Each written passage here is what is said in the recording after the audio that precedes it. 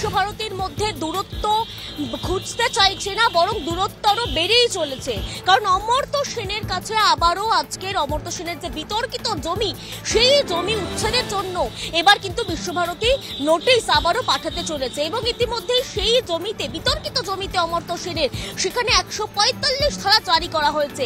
এবং এই একশো পঁয়তাল্লিশ ধারা মানে হচ্ছে কোনো জমি নিয়ে যদি কোনো সমস্যা ঘটে, সেক্ষেত্রে শান্তি শৃঙ্খলা, আইন শৃঙ্খলা ভগ্ন হওয়ার যদি সম্ভাবনা তৈরি হয়, সেই সময় বাড়তি পুলিশ মোতায়েন করা হয়ে থাকে এবং আজকের থেকেই পুলিশ মোতায়েন করা হচ্ছে।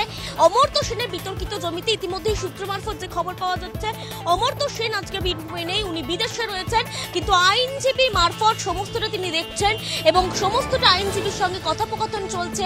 আবারও দুপক্ষের কিন্তু নোটিশ দুপক্ষের তরফ থেকে সিটি চালাচালি হতে পারে, এমনটাই কিন্তু সম্ভাবনা উঠে আসছে। ক্যামেরা বিশ্বরূপের সঙ্গে পিঙ্কি, রিপাবলিক বাংলা, বীরভূম। উত্তরবঙ্গের সাথে সাথে দাবদাহে পড়ছে কিন্তু দক্ষিণবঙ্গ।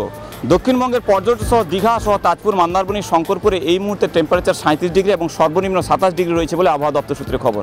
সব মিলে যতই তাপমাত্রা বাড়ছে, ততই কিন্তু ঘরবন্দি হয়ে পড়ছেন সাধারণ মানুষ থেকে আরম্ভ করে পর্যটকরা। এই মুহূর্তে পর্যটন কেন্দ্রগুলিতে যেখানে ভরপুর থাকার কথা, সেখানে এই গরমের দাপটে কিন্তু কার্যত পর্যটক শূন্য বলা চলে।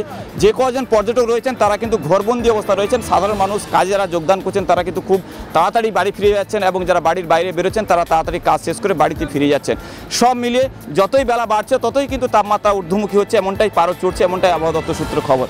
যে সমস্ত এলাকাগুলোতে কিন্তু সাধারণত লু বইতে শুরু করেছে বার পথঘাট আরম্ভ করে জায়গায় বাসের যে স্ট্যান্ড এবং সেই জায়গায় যে বিভিন্ন জায়গায় সমুদ্র ঘাট, সেগুলো যেহেতু লোক সংখ্যা কম তেমনিভাবে লোক কিছুটা হয়তো স্বস্তির আশায় যেমন ছায়া খুঁজছেন, তেমনি কোথাও বা কেউ বা লস্যির দোকানে, কেউ বা ডাবের দোকানে কিছুটা হলেও তৃষ্ণা নিবারণের চেষ্টা করছেন। উত্তরবঙ্গের সাথে সাথে দক্ষিণবঙ্গে কিন্তু দাবদাহ আরও চড়ছে এবং এমনটাই প্রমাণ পাওয়া যাচ্ছে।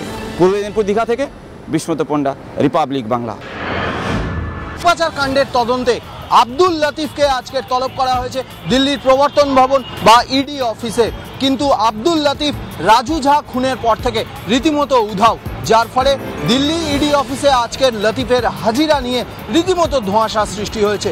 অন্যদিকে গরু পাচার কাণ্ডের অন্যতম কিংপিন এই আব্দুল লাতিফ। তাই তাকে জিজ্ঞাসাবাদ করে গরু পাচারের যে রুট গরু পাচারের সমস্ত বিষয় সম্বন্ধে এনফোর্সমেন্ট ডিরেক্টরের জিজ্ঞাসাবাদ করতে চায়। পাশাপাশি গরু পাচার কাণ্ডে যে বিপুল পরিমাণ টাকা নয় ছয় হয়েছে, কোটি কোটি টাকা নয় ছয় হয়েছে এবং প্রভাবশালীরা সেই আর্থিক সুবিধা পেয়েছেন, সেই আর্থিক লেনদেন নিয়েই ইডি আব্দুল লতিফকে জেরা করতে চায়। কিন্তু কিছুদিন আগে কয়লা মাফিয়া রাজু ঝা খুনের পর থেকে আব্দুল লতিফ রীতিমতো এলাকা ছাড়া উধাও তার টিকি খুঁজে পাচ্ছেন না তদন্তকারীরা। সঞ্জয় নাইয়ার সঙ্গে সৈকত, রিপাবলিক বাংলা, কলকাতা।